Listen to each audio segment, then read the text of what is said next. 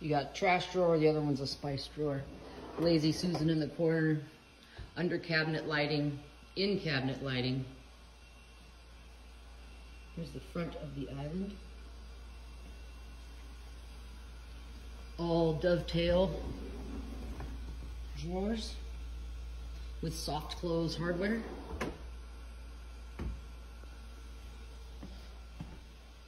Dishwasher.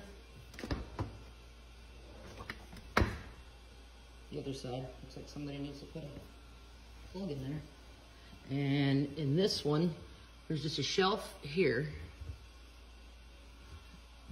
Then we have pull-out drawers for a pantry here below.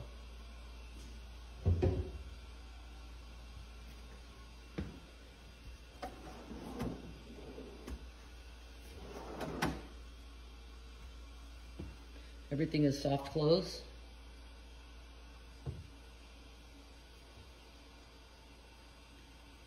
I didn't push that one very hard, so it's taken quite a while.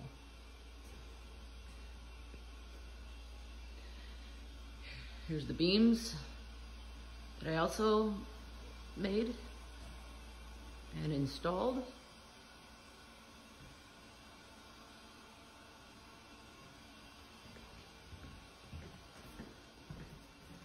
Oh, yeah, it's beautiful out here.